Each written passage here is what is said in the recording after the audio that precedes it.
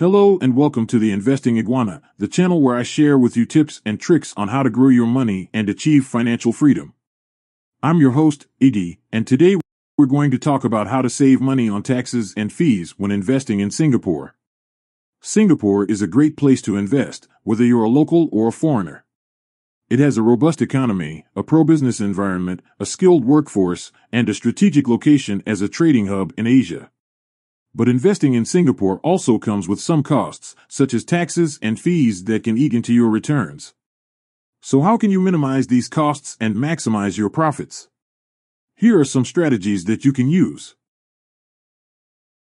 Strategy number one, invest in tax-advantaged savings plans. One of the easiest ways to save money on taxes is to invest in tax-advantaged savings plans, such as the Supplementary Retirement Scheme, SRS, and the Central Provident Fund, CPF. These are government-sponsored schemes that allow you to save for your retirement and enjoy tax benefits at the same time. The SRS is a voluntary scheme that lets you contribute up to $15,300 per year if you are a Singapore citizen or permanent resident, or $35,700 per year if you are a foreigner. You can invest your SRS funds in various products, such as stocks, bonds, unit trusts, and insurance policies. The best part is that your contributions are tax deductible, meaning that they reduce your taxable income for the year. You also don't have to pay any tax on the interest or dividends that you earn from your SRS investments until you withdraw them. The CPF is a mandatory scheme that requires you to contribute a percentage of your monthly salary to four accounts the ordinary account, OA, the special account, SA, the MediSave account, MA, and the retirement account, RA. You can use your OA funds for housing, education, and investment purposes, your SA funds for retirement and investment purposes, your MA funds for healthcare expenses, and your RA funds for retirement income.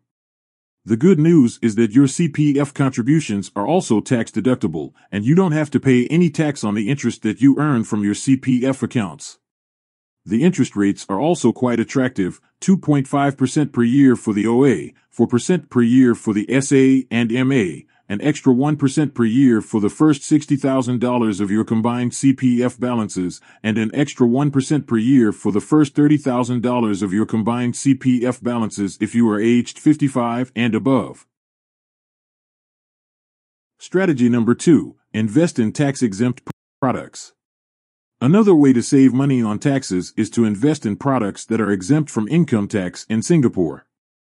These include Singapore Savings Bonds, SSBs. These are government-backed bonds that pay you interest every six months.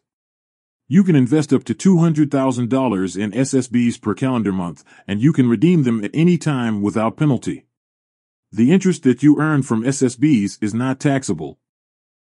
You can also invest in exchange-traded funds, ETFs. These are funds that track the performance of a basket of securities, such as stocks or bonds. You can buy and sell ETFs on the Singapore Exchange, SGX, like any other stock. The dividends that you receive from ETFs are not taxable if they are derived from specified income outside Singapore. You can also consider real estate investment trusts. REITs these are funds that invest in income generating properties, such as malls, offices, hotels, and warehouses. You can also buy and sell REITs on the SGX like any other stock. The distributions that you receive from REITs are not taxable if they are derived from specified income outside Singapore. REITs are required to distribute at least 90% of their taxable income to their unit holders in order to enjoy tax transparency. This means that the REIT itself does not pay any corporate tax on its income, but the unit holders are taxed on their share of the income according to their own tax status. There are currently 45 REITs listed on the SGX, with a total market capitalization of about $130 billion as of December 31, 2022. They span various property segments, such as retail, office, industrial, hospitality, healthcare, data center, and logistics. Some of the largest and most popular REITs in Singapore include CapitaLand Integrated Commercial Trust, CICT, Mapletree Logistics Trust, MLT, Ascendas REIT, AREIT, Frasers Centrepoint Trust, FCT, and Keppel DC REIT, KDC REIT. Strategy number three, invest in low-cost products. The third way to save money on fees is to invest in products that have low costs associated with them. These include robo-advisors. These are online platforms that use algorithms to create and manage your investment portfolio based on your risk profile and goals.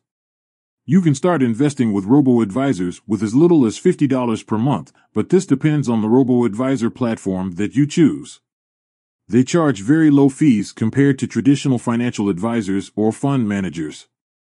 Some examples of robo-advisors in Singapore are Stashaway, Syfe, Endowus, and MoneyOwl. Robo-advisors use different methods to allocate and rebalance your portfolio, such as risk parity, factor investing, or dynamic asset allocation. They also use different benchmarks to measure their performance, such as market indices or inflation. Another consideration would be online brokerages. These are platforms that allow you to buy and sell securities online without going through a middleman. You can access a wide range of markets and products with online brokerages, such as stocks, bonds, ETFs, REITs, options, futures, forex, and cryptocurrencies, but this depends on the online brokerage platform that you choose. You can also enjoy lower commissions and fees compared to traditional brokerages or banks. Online brokerages have different account types and requirements for different investors. Some of the common account types include cash accounts, margin accounts, CDP linked accounts, and custodian accounts. Some of the common account requirements include minimum initial deposit, minimum balance, minimum trading activity, and KYC, know your customer, verification. The fourth type of investment would be index funds. These are funds that aim to replicate the performance of a market index, such as the Straits Times Index, STI, or the MSCI Singapore Index, SiMSCI. You can invest in index funds through ETFs or unit trusts that track these indices. Index funds have lower management fees than actively managed funds because they don't require much research or trading activity. Index funds offer investors exposure to a diversified portfolio of securities that represent a particular market or sector. They also provide consistent returns that match the market performance, minus the fees and expenses. Index funds have different risk and return profiles, depending on the volatility and growth potential of the underlying index. Some common risk and return factors include market risk, currency risk, liquidity risk, and dividend yield. Strategy number four, invest in offshore products. Another way to save money on taxes is to invest in products that are based outside Singapore.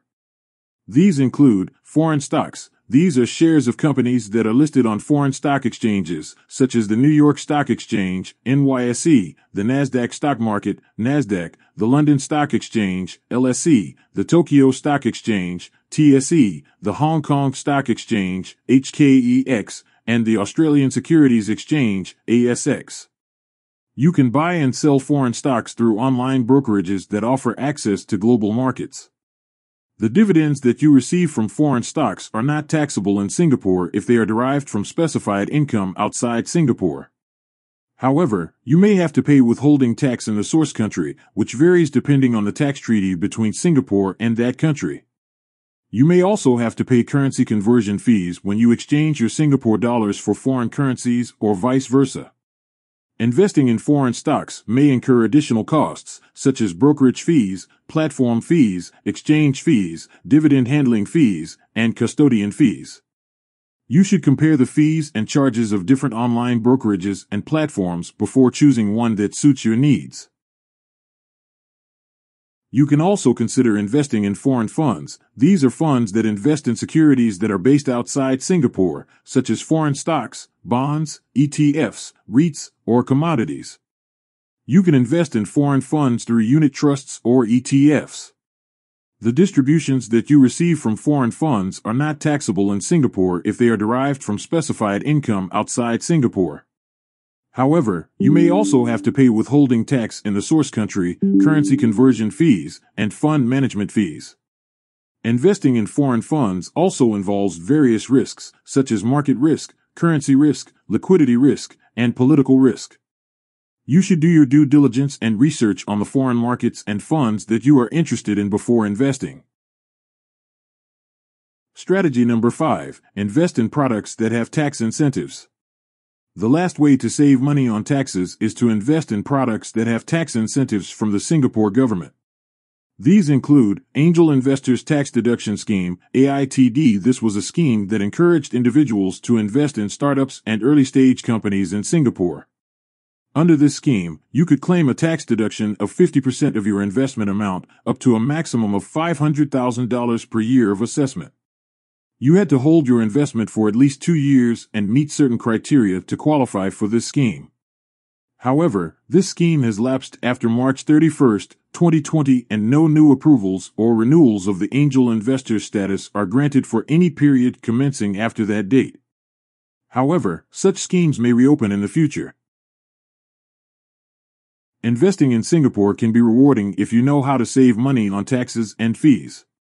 By using these strategies, you can reduce your costs and increase your returns over time.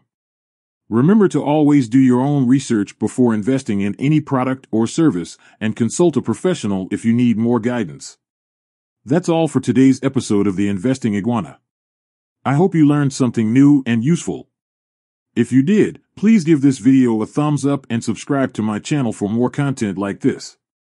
Also feel free to leave a comment below if you have any questions or feedback. Thank you for watching and I'll see you next time.